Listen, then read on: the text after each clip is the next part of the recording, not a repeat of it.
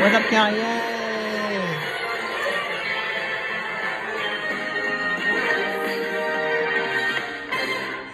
The PJ Masks heading off on a comet mystery.